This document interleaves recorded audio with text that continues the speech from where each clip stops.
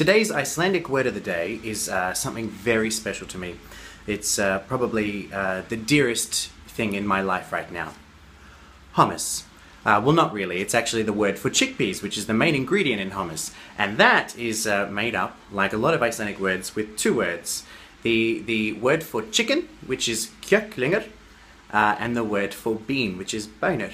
And so if you put them together, you literally get chicken bean. Kjúklingabaunir. So enjoy your hummus because a life without hummus is a life not worth living.